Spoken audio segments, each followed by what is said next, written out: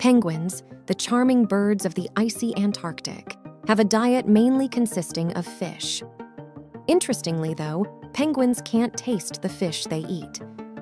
Over time, these birds have lost their ability to taste savory flavors, which includes the taste of fish. This is because their taste buds only detect salty and sour flavors.